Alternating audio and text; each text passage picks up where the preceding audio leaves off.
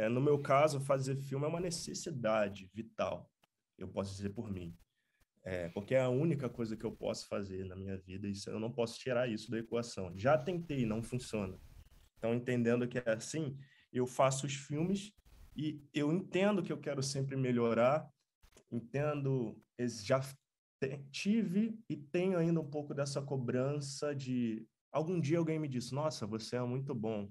Você outra pessoa então me disse: "Você é uma promessa do audiovisual brasileiro". Você abraça isso maravilhosamente. E aí você cria essa expectativa em você mesmo. E no momento que eu crio a necessidade de fazer o trabalho para me superar,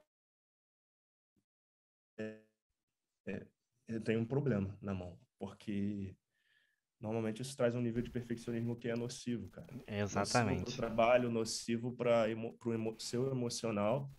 E se a gente pesquisar e averiguar a fundo a síntese, a, a, a, o gênesis da arte, é, na verdade, é uma necessidade de expressar algo que com palavras ou a simbologia que a gente tem na nossa comunicação a gente não consegue.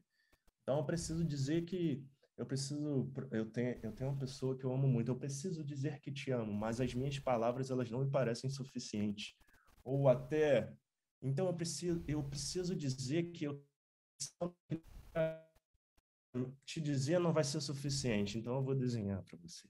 E talvez através daquele desenho, uma pintura rupestre, fosse um pouco melhor do que as palavras apenas. Então a, a síntese de fazer arte é uma necessidade de se expressar e a partir de algum momento ela vira ferramenta até. Quando você expressa um sentimento e a pessoa se, se convalesce ou ela se identifica, às vezes, muitas vezes, até na narrativa, no filme, a gente absorve aquilo e aquilo melhora a nossa vida, ou aquilo muda a nossa vida de alguma forma. Então, fazer filme, é, fazer arte, com a cobrança de ser melhor, melhor o quê?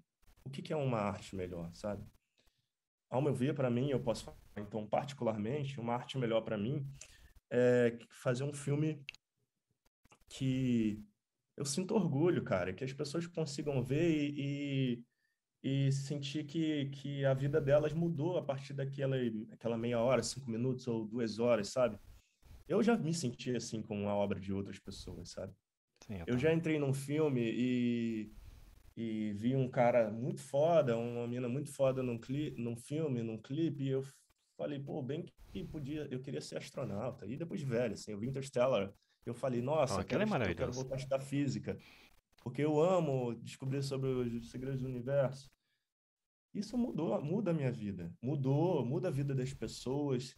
Tem gente que vai para o cinema para como refúgio, tem gente que vai para o cinema como subterfúgio, tem gente que vai para o cinema para sorrir, tem gente. É, são muitos, assim. Então, eu julgo que para fazer um filme melhor do que o anterior que eu fiz, esse filme ele precisa ser verdadeiro e eu me orgulhar dele e que as pessoas se conectem com ele. Então, a pressão atrapalha. Sim, a pressão atrapalha. Para se blindar dessa pressão, eu, eu averigo o motivo sempre por que, que eu estou fazendo. Exatamente. Muitas vezes eu averiguei algum, alguns motivos de, de alguns trabalhos, de algumas de alguns projetos e eu falei isso aqui é para o meu ego. Eu quero fazer esse plano aqui para mostrar que eu sou bom eu quero alugar essa câmera aqui e, fa e fazer a câmera dar uma cambalhota para as pessoas assistirem e falarem: esse cara é foda, ele fez a câmera dar uma cambalhota. É, mas é, é, verdade... é, exata, exatamente isso aí que eu tava perguntando, porque, tipo, esse negócio de você mostrar que você é o cara, às vezes você vai fazer esse trabalho, você vai mostrar para todo mundo que você é o cara, e Todo mundo vai falar, não, você é o cara, sei o que, sei o que. E às vezes, quando você for fazer o próximo trabalho, você não tá nesse pique que você tá agora, e o seu próximo trabalho não vai sair do jeito que saiu esse anterior. E as pessoas vão Sim. falar, ih, o que, que aconteceu? Ou às vezes as pessoas não vão falar nada, mas você vai pensar que elas vão falar. É aí que tá o problema. Isso. É, não. É, é aí que mora muitos problemas, né? Moram muitos problemas. Esse é um fato, cara. É, é muito interessante essa pergunta porque ela é, abrange muitas coisas. Sim, ela não, sim não fala só, pelo menos assim, quando você me pergunta isso, não, não quer dizer apenas de audiovisual. Quer dizer é, muito sobre necessidade interna de cada um. E eu vejo muito isso no audiovisual. Olha, veja a quantidade de diretores que a gente tem. Só diretores. O porquê é isso? Será realmente é, que a pessoa, e eu não quero fazer juízo de valor do trabalho de ninguém, será que a pessoa realmente é um diretor? Ou seja, será que ela está trabalhando para isso ou é uma necessidade de se autoafirmar?